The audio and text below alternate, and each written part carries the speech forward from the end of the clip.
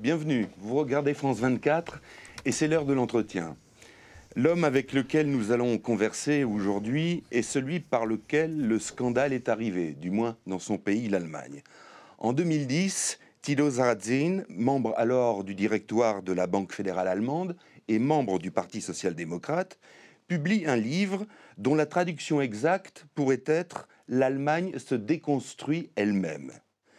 1 500 000 exemplaires vendus, un tabac, mais un tollé aussi. Thilo Sarrazin y déplore la faible natalité de son pays, ce qui n'est pas nouveau, mais surtout l'attribue à l'augmentation de la part du revenu global perçu par des classes défavorisées, à l'immigration musulmane, à l'appauvrissement scolaire et éducatif qui en découlerait et qui aboutirait à une baisse du potentiel quantitatif en intelligence, rien que ça. Une thèse qui fleure bon le socio-racialisme. L'Allemagne s'en est émue, a brocardé Sarrazin, en quoi l'Allemagne serait-elle vraiment en danger? Mais avant tout, que révèlent de pareils écrits sur la société allemande telle qu'elle est? Le livre paraît ce mois-ci en traduction française sous le titre L'Allemagne disparaît et fera sans nul doute le bonheur des germanophobes de tout poil qui habitent l'Hexagone. Mais nous, nous avons la chance d'avoir en duplex depuis Berlin Thilo Sarrazin. Bonjour, merci d'être en notre compagnie. La première question que je voudrais vous poser, c'est euh, au fond, sur l'ensemble de votre œuvre. Vous avez voulu briser des tabous, vous avez voulu faire du politiquement incorrect, et ce faisant, est-ce que vous n'avez pas fabriqué sur mesure du politiquement correct pour toute la droite et toute l'extrême droite non, moi je ne vois pas du tout les choses de cette äh, manière-là. Au contraire, ce que j'ai fait, c'est d'écrire des faits. Et ces faits, on pourrait les résumer de manière suivante. En, raison de son taux de natalité réduit, l'Allemagne euh, connaît une diminution de population dans chaque génération de quelques 35%. En d'autres termes, automatiquement, la population de l'Allemagne est réduite automatiquement. Et sans l'immigration, on euh, pourrait dire que les couches qui sont les moins éduquées ont le plus d'enfants et euh, les euh, personnes éduquées ont encore moins d'enfants que la moyenne. Troisièmement, l'immigration en Allemagne est composée de plusieurs éléments. Nos immigrants viennent de plusieurs cercles culturels et nous constatons que la manière dont les immigrants euh, s'intègrent dans le euh, pays de façon culturelle et économique ou éducative, nous voyons que c'est très différencié. Leur participation à l'éducation est différente en fonction de certains cercles culturels.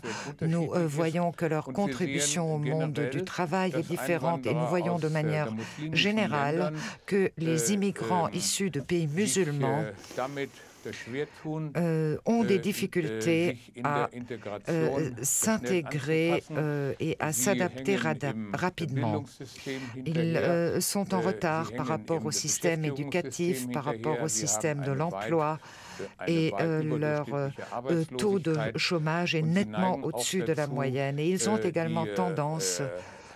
également äh, tendance à ne pas euh, s'adapter à la culture de la société majoritaire.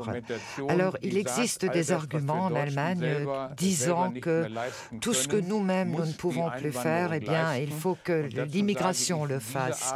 Et moi, je dis non. Euh, ce type d'immigration ne peut pas le faire. Vous parlez d'ailleurs de, euh, de sociétés parallèles. mais à qui la faute, au fond?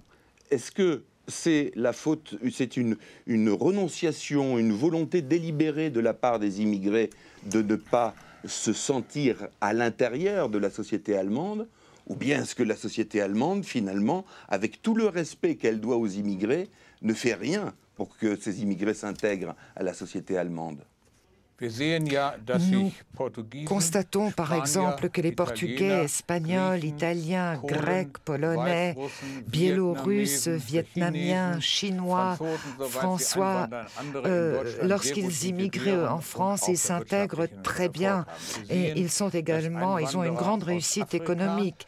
Et nous constatons que les immigrants d'Afrique, euh, surtout d'Afrique du Nord et des immigrants de Turquie, ou de pays arabes, eh bien, ont des difficultés de s'intégrer et ont tendance à former des sociétés parallèles. Leur taux de chômage est supérieur à la moyenne, etc. Et comme euh, nous, en tant que politiques, nous traitons exactement de la même manière tous les groupes d'immigrants, cela ne peut être lié qu'aux caractéristiques culturelles des immigrants eux-mêmes. Par exemple, les Vietnamiens, que ce soit en Allemagne de l'Est ou en Allemagne de l'Ouest, eh bien, ils ont des résultats scolaires nettement supérieurs aux Allemands.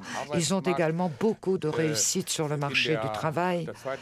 Et dans la deuxième génération de euh, Vietnamiens, eh bien, ils ont subi exactement les mêmes traitements que les Arabes ou les Turcs. Est-ce qu'il y a effectivement des différences, euh, on va dire, socio-raciales? C'est ce que vous semblez dire à travers votre discours. Äh, euh, voyez-vous, il me semble qu'il existe des différences et ces différences se constatent également sur le plan statistique. Et d'ailleurs, vous les observez, ces différences, de la même manière chez les immigrants en France ou aux Pays-Bas. Par exemple, euh, la France avait beaucoup d'immigration polonaise ou d'Europe de l'Est de façon traditionnelle. Il n'y a pas eu de problème. Et euh, à mon avis, c'est les différences sont dues à la culture islamique des pays d'origine. C'est elle qui est en cause. Il faut qu'il y ait une explication. Est-ce que la culture musulmane est un empêchement? Vous semblez euh, l'amalgamer avec l'islamisme. Oui.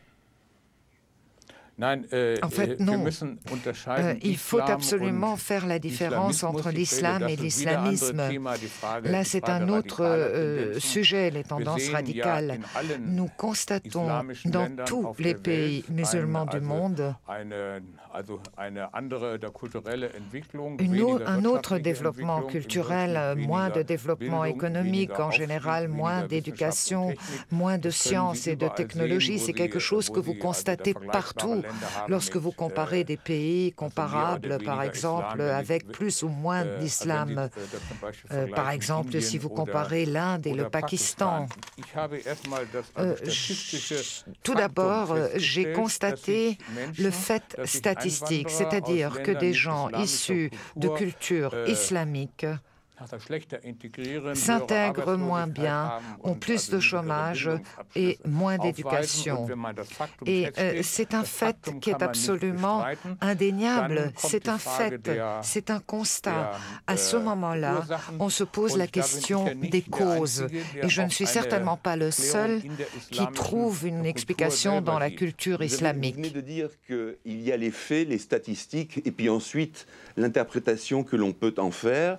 Euh, moi, ce qui me surprend, ce qui me gêne, c'est qu'il me semble que vous vous retranchez derrière les chiffres, derrière les statistiques, sans vous soucier des conséquences politiques de vos écrits et de vos paroles.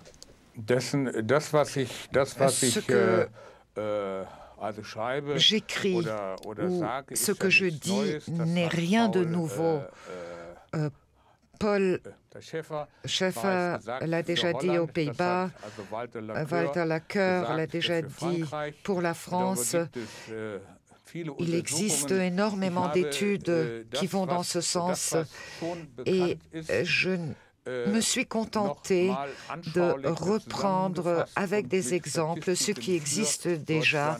Et j'ai ajouté des statistiques pour l'Allemagne. Je l'ai étayé de statistiques. Et les analyses sociologiques et empiriques se mesurent uniquement par une chose. Est-ce qu'elles sont vraies ou non? Est-ce qu'elles sont unilatérales ou non? Les faits, les constats, eh bien, il faut les accepter. Il faut en traiter. La France elle-même elle connaît d'énormes problèmes en matière de politique d'intégration et ça ne leur a pas servi de refuser de discuter tout simplement de certaines questions ou de faire des statistiques. La réalité a pris le pas. bien. Ma dernière question sera la suivante. Euh, est-ce que vous vous attaquez d'une certaine manière aux élites allemandes, à celles qui ont eu peut-être une tendance à l'autoflagellation ou bien est-ce que vous vous attaquez directement à ceux qui, en bas, eh ne parviennent pas à s'intégrer à la société allemande? Euh, tout d'abord, euh, je n'attaque jamais qui que ce soit qui arrive. Chaque être humain vient de sa propre culture et il n'est absolument pas responsable de cette culture, il en fait partie. Et à ce moment-là, et cela äh, relève de la responsabilité des peuples qui accueillent d'autres personnes. Il faut qu'il crée les conditions cadres afin de pouvoir attirer ceux qui ont la bonne attitude et ceux qui sont déjà euh, là, il faut leur transmettre la bonne attitude. Euh, j'attaque peut-être les élites politiques allemandes parce qu'elles ne veulent pas voir le problème et ne prononcent que des belles et bonnes paroles sans s'atteler au problème. Mais je me répète, si je suis bien la presse française, il y a beaucoup de parallèles à faire. Tino Je crois que c'était bon de, préciser cette dernière euh, phrase qui a été la vôtre. Merci infiniment d'avoir participé à cette émission. Vous êtes donc sur France 24, chers téléspectateurs, et l'information continue. Elle est en permanence.